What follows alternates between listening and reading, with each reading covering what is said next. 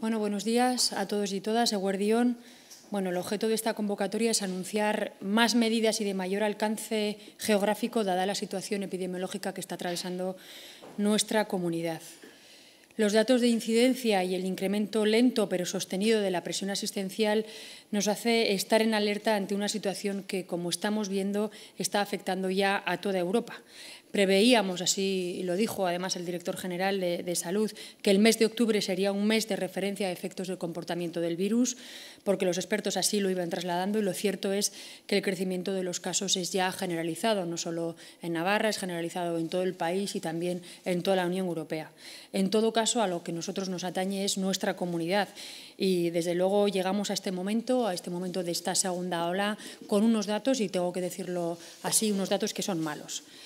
Durante prácticamente una semana eh, estuvimos mejorando los datos, había un descenso del 20%. Eso nos hizo pensar que podíamos estar cambiando la tendencia, pero estos últimos días asistimos a un crecimiento mucho mayor de lo que cabía esperar y, por lo tanto, y en ese contexto de llegada del otoño y de previsible aumento de la circulación del virus, tenemos que dar un paso más porque lo que está claro es que los datos no van bien. Estamos observando de manera reiterada que el ámbito privado y el ocio son los factores que en este momento están siendo el principal foco de contagio. Por lo tanto, ahí incidimos en estas medidas que, que hoy os voy a avanzar, pero no solo, porque el planteamiento es establecer un freno notable a toda la actividad no imprescindible durante los próximos 14 días, de manera que podamos mejorar la situación y afrontar también en mejores condiciones el otoño y el invierno. Hemos comprobado en las localidades en las que hemos, medido, hemos hecho perdón, medidas restrictivas que estas medidas restrictivas han tenido un buen funcionamiento, que han dado unos buenos resultados. De manera que si la población cumple, creemos que también ahora eh, van a funcionar. Adoptamos, como decía, medidas para toda Navarra. Entendemos que la situación trasciende ya lo puntual de un municipio concreto o de varios municipios y que la intervención ha de ser una intervención global. Es cierto, también es verdad que hay muchas localidades, que hay algunas localidades de Navarra que están en muy buena situación, pero también es cierto que estas medidas tienen un doble objetivo.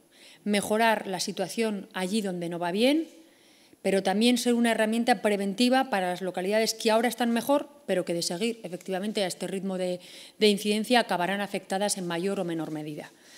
Por lo tanto, tenemos la esperanza de que si la ciudadanía cumple la norma y la recomendación de reducir la interacción a lo imprescindible y la movilidad también a lo imprescindible, en dos semanas podemos estar con unos mejores datos.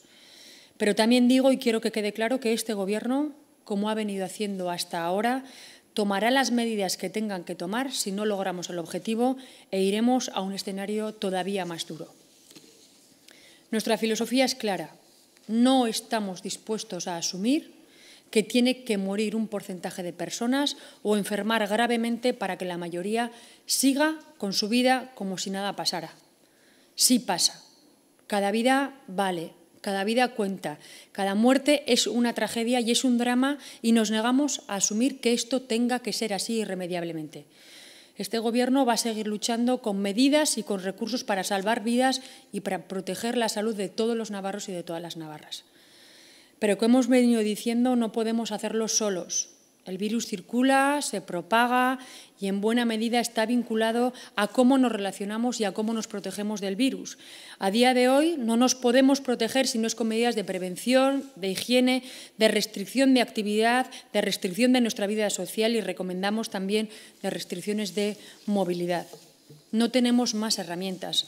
Por lo tanto, con ellas y con la ley tenemos que abordar durante muchos meses todavía esta labor compleja y vinculada no solo a la responsabilidad individual, sino también colectiva y, desde luego, también al avance de la ciencia.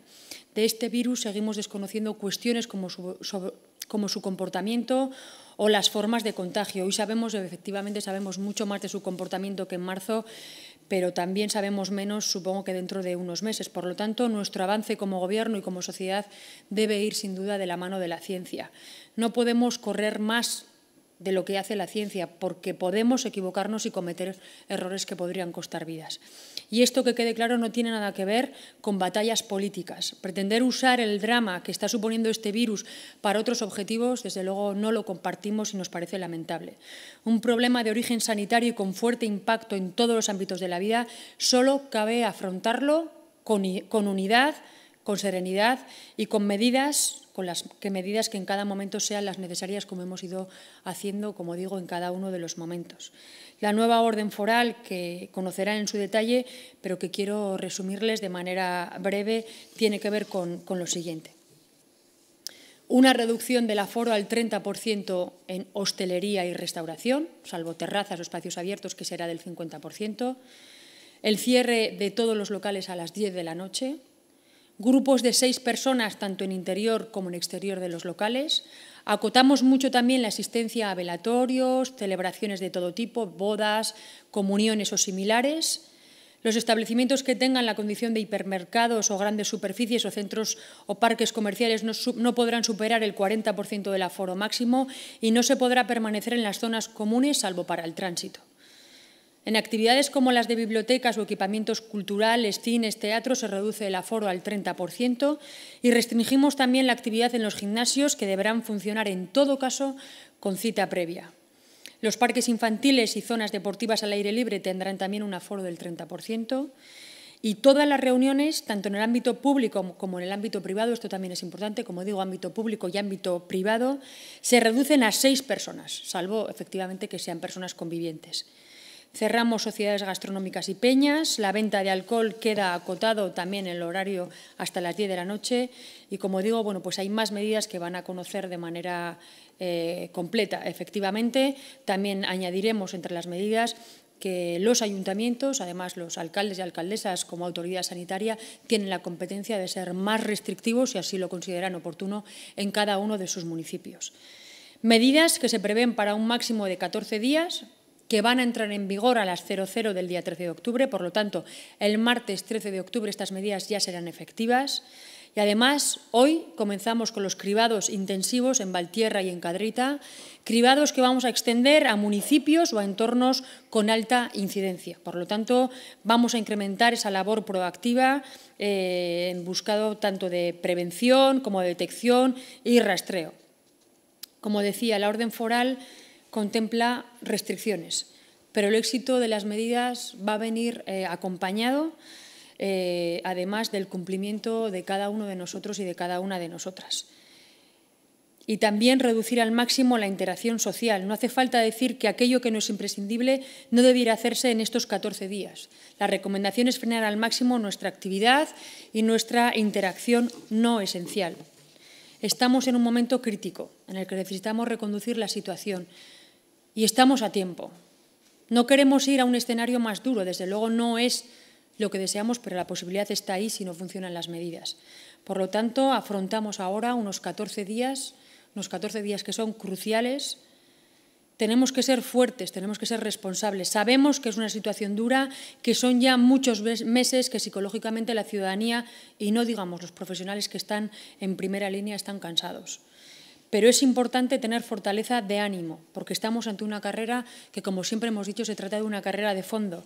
Y como en toda carrera de fondo hay momentos de debilidad en los que uno piensa que, que ya no puede más, incluso piensa en abandonar, pero cuando el objetivo merece la pena, y en este caso el objetivo es salvar vidas, es por lo que debemos eh, trabajar, porque ese es el objetivo más importante. Tenemos que seguir, tenemos que sobreponernos a esos momentos de debilidad y visualizar el objetivo final para llegar a la meta, que es, como digo, salvar vidas.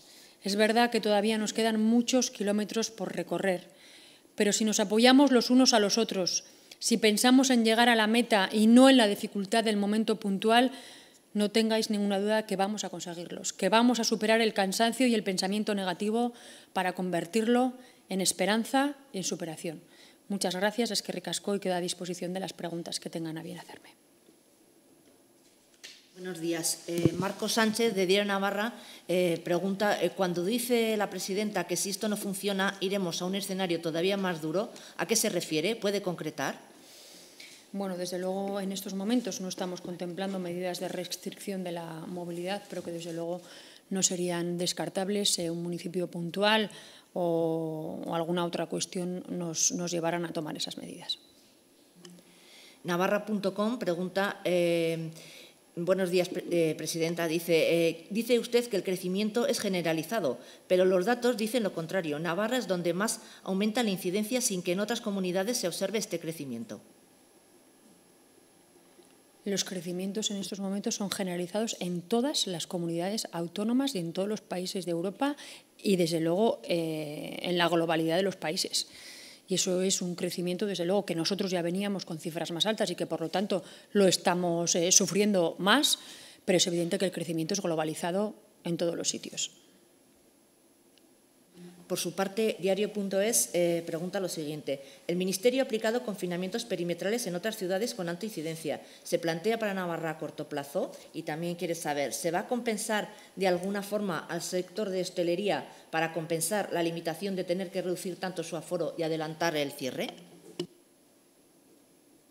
Bueno, en cuanto es verdad los confinamientos perimetrales que ha hecho la Comunidad de Madrid en determinados eh, municipios, nosotros eh, no contemplamos esas medidas. ¿Por qué? Porque todos los municipios tienen exactamente las mismas restricciones, por lo tanto no puede haber o entendemos que no debe haber un efecto llamada y además cuando los aforos de todos los espacios son tan limitados, aunque quieran moverse, pues evidentemente no van a poder estar en esos aforos y luego la limitación del número de personas que se pueden juntar. Por lo tanto entendemos que no es necesario esas limitaciones porque, como digo, las restricciones son exactamente exactamente las mismas en todos los municipios, cuestión que no es así en la Comunidad de Madrid. Y en lo que tiene que ver a la hostelería, pues este martes el consejero de Desarrollo Económico Manuel Ayerdi y también la consejera de Hacienda, eh, la consejera Sainz, se van a reunir por la mañana con el sector de la hostelería para abordar con ellos la puesta en marcha de la forma más inmediata posible de una serie de ayudas económicas encaminadas a paliar la situación en la que se encuentran. Hablamos de ayudas que se dotarán con una importante cantidad económica y que servirán, por un lado, para ayudar a la subsistencia del sector y, por otro, para impulsar su reactivación con todas las medidas a las que ya se han visto obligados en la lucha por esta pandemia. Como digo, el martes hay una reunión con el sector. Eh, Jorge Tirapu, de Onda Cero, eh, pregunta, a la vista de los datos y de la apelación al autoconfinamiento, ¿por qué no se adoptó esta decisión a finales de la pasada semana no, y no en mitad del puente? Bueno, pues porque evidentemente, ya lo he dicho en la intervención, durante toda la semana estuvimos asistiendo a un descenso de casos. Tuvimos concretamente un descenso de una semana en torno a un 20%. Eh, así, además, lo hicimos en todos los datos que son, que son públicos. Eh, y es verdad que fue el jueves, el primer día que tuvimos un incremento de casos, con 400 casos. Tomar una decisión con eh, solamente la afección de un día no, no nos parecía oportuno, porque ahí estamos asistiendo continuamente a esos dientes de sierra. Pero efectivamente, cuando ya vimos eh, a los con tres días ya eh, de datos de, alta incidencia es cuando hemos tomado esta decisión. Como digo, tomar la decisión con un solo día de incremento de datos no nos parecía oportuno cuando veníamos de una semana de un descenso de casos. Dani Mizco de Track FM pregunta en qué situación van a quedar los colegios y universidades los consideramos como eh, servicios esenciales. De hecho, eh, la educación es un derecho fundamental y esos servicios no se van a ver afectados. Por su parte, Ibai Fernández, de Diario de Noticias, pregunta qué opinión le merecen las críticas del líder del PP, Pablo Casado, de que considera partidista no aplicar en Navarra las mismas medidas que en Madrid. Bueno, de verdad, yo no voy a hacer juego político de, una situación y desde luego a mí como presidenta de la comunidad foral de Navarra me importan los datos de mi comunidad, unos datos que por cierto son absolutamente fiables y absolutamente transparentes. En todo caso sí que tengo que decir que a Navarra no ha tenido que venir nadie a imponernos medidas, somos nosotros los que hemos tomado la decisión de estas medidas restrictivas y que por cierto son bastante más restrictivas que las que hay en la Comunidad de Madrid. Navarrainformación.es pregunta a la presidenta si considera que estas medidas nos acercan a la situación actual del estado de alarma en Madrid. Bueno, yo creo que hay que saber diferenciar las cuestiones. En Madrid se ha hecho el estado de alarma porque la Comunidad de Madrid no tomaba decisiones. Pero, como digo, las medidas que, nos hemos, que hemos tomado en Navarra, que, como digo, se van a publicar en la orden foral eh, mañana mismo, son unas medidas más restrictivas que las que ha tomado la Comunidad de Madrid sin tener que acudir al estado de alarma, porque hemos sido nosotros mismos los que hemos tomado las decisiones. Como digo, estas medidas son más restrictivas que las de la Comunidad de Madrid, sin tener que acudir al estado de alarma, que ha tenido que ser así porque ellos mismos, la propia comunidad, no tomaba las decisiones. Eh, Iker Ibáñez, de Mediaset, pregunta de los tres criterios establecidos por parte del Ministerio de Sanidad para un posible confinamiento, ¿cuáles se cumplen y cuáles no en el caso concreto de Pamplona? Pues en el caso concreto de Pamplona no tengo los datos en estos momentos actualizados pero nosotros no cumplimos con esos criterios eh, que salieron publicados en el Boletín Oficial del Estado, del Estado de Alarma, que creo que eran tres criterios. Navarra no los cumple. No estamos en estos momentos en una situación de presión asistencial en la UCI por encima de un 35%, pero es que no queremos llegar a estar ahí. De, hecho, los profesionales sanitarios lo que estamos percibiendo es, bueno, pues con ese goteo continuo de, ingresos que estamos teniendo, tanto en camas ordinarias como en camas eh, eh, de la UCI, bueno, pues eh, ya bueno, pues nos están poniendo en alarma. No queremos llegar a esa situación para tener que tomar medidas, lo hacemos antes. Navarra Televisión pregunta qué se está haciendo mal en Navarra para tener estos datos. Bueno, yo creo que concurren eh, diferentes circunstancias. Nosotros hemos tenido, lo hemos dicho en muchas ocasiones, el resultado de las no fiestas que se daban sobre todo segunda quincena de agosto, primera quincena de septiembre. Eh, y justo cuando empezábamos a bajar esa curva de las incidencias que nos han resultado de las no fiestas, como digo, la semana pasada, pues nos ha venido pues lo que tiene que lo que ahora se le denomina como la segunda ola, un crecimiento mantenido, como digo, de manera global en todos los países, pero nos ha pillado a nosotros evidentemente con unos datos eh, muy altos. Tendríamos que hacer un repaso de, bueno, pues seguramente hay cosas que, podríamos mejorar, pero desde luego somos una comunidad más proactiva, somos una comunidad que atiende eh, los casos COVID de manera rápida, que da unos resultados de las PCRs en menos de 24 horas. Evidentemente seguro que hay algunas cosas que debiéramos eh, mejorar. Bueno, yo ayer tenía una conversación con el presidente de Aragón y hay cosas que tenemos en común en estos momentos tenemos brotes en comuniones, tenemos brotes en bares y bueno, pues estas cosas bueno, pues, pues también hay que corregirlas y por eso las medidas que tomamos hoy. Tanto Televisión Española como Maica Televista preguntan a ver si pueden eh, comentar los datos de hoy. bueno, pues los datos de hoy saldrán en una, en una nota de prensa eh, posterior, pero estamos por encima de los 400 eh, casos hoy también.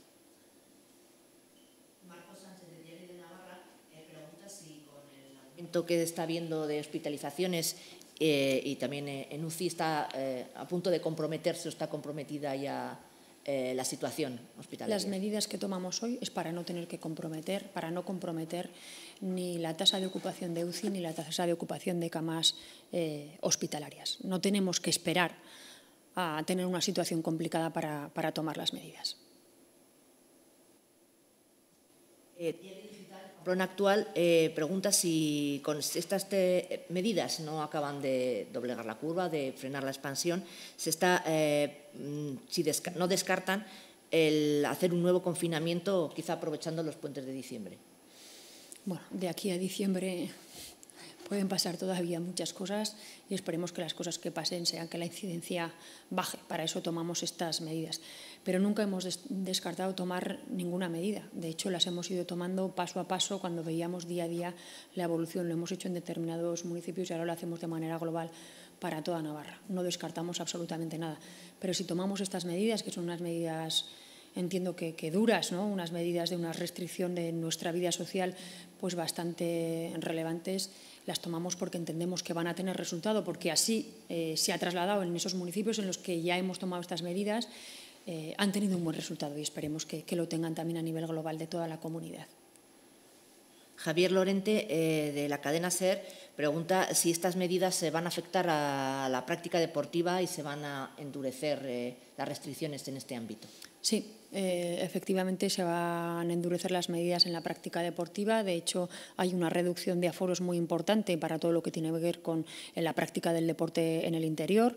Creo que el criterio es un 30% de manera generalizada, pero los detalles bueno, pues, eh, se verán en la, en la orden foral. Desde luego, obligatorio uso de mascarillas. En los grupos dirigidos también es eh, mm, máximo de seis personas. Eh, bueno, los detalles, como digo, en la orden foral, pero sí, también va a haber restricciones en, la práctica deportiva y también en los eventos culturales. Benelizari, de Negocios en Navarra, eh, pregunta a ver si estas medidas van a tener un impacto negativo en la actividad empresarial más allá de sectores como el de la hostelería?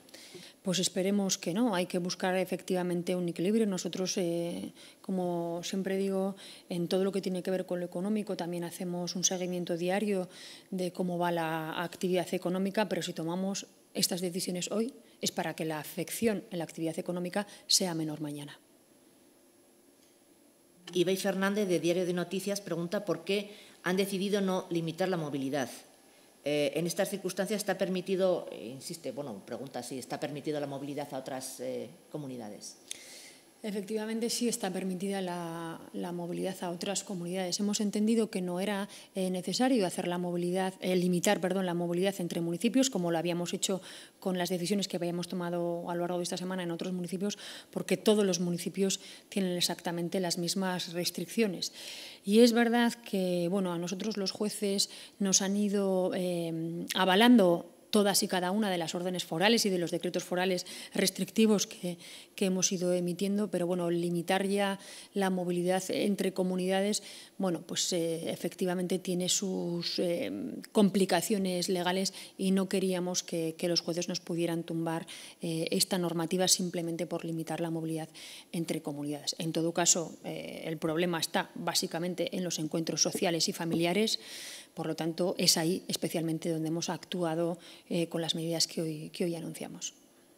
Navarra.com pregunta a ver si se contempla algún tipo de restricción en el transporte público. Eh, desde luego, yo creo que el transporte público ya tiene sus propias restricciones, como es el uso obligatorio de las mascarillas, y por parte de la mancomunidad de la comarca de Pamplona se han reforzado o se van a reforzar. Así llegamos a un acuerdo con ellos en todas aquellas líneas en las que hay eh, más. Eh, más usuarios, ¿no? que es, eh, por ejemplo, pues líneas puntuales eh, por la mañana, en donde bueno, pues los estudiantes también las cogen pues, para ir a las universidades u otras cuestiones. Y ahí va a haber un reforzamiento de las líneas de transporte. Navarra eh, Televisión recuerda que la Generalitat recomienda a las empresas la vuelta al teletrabajo.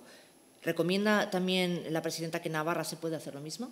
Bueno, de hecho, se está haciendo así ya hay una regulación del teletrabajo, tenemos una regulación propia en la Administración Foral de Navarra, se recomienda, bueno, todas las empresas están utilizando las que se puede, efectivamente. Es verdad que hay trabajos presenciales que evidentemente no se pueden eh, trasladar al ámbito del teletrabajo, pero todas las empresas lo están utilizando y efectivamente nosotros seguimos recomendándolo, pero como digo, ya lo están haciendo. Eh, Iker de Mediaset también eh, pregunta por su valoración, qué le, parece el hecho de que en los últimos días, eh, con ya varios pueblos, con, localidades con restricciones, en Pamplona hubieran aumentado las sanciones por incumplimiento. ¿Eh? En Pamplona hayan, han aumentado las sanciones por incumplimiento de las medidas de prevención. Bueno, pues esto mm, es una labor eh, de coordinación policial que se está llevando a cabo con policía local, policía foral y, también eh, cuerpos y fuerzas de seguridad del Estado, en donde bueno, pues se aprobó en el Parlamento de Navarra las eh, sanciones y se están aplicando. Evidentemente, pues hay un control también policial. Desde luego, a mí que nos quedemos con el mensaje de que tenemos que poner un policía de cada, detrás de cada persona, no me parece que sea un buen aprendizaje. Por eso nosotros siempre apelamos ¿no? a esa normativa y a esa responsabilidad individual. No es algo que nos guste hacer, sancionar, porque evidentemente hay que hacer un estricto cumplimiento de las medidas. Bueno, pues si no hay más preguntas, lo dejamos aquí. Como digo, muchas gracias. Es que ricasco.